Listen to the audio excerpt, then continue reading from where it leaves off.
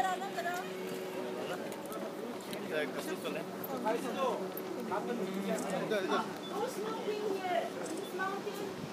you smoke $100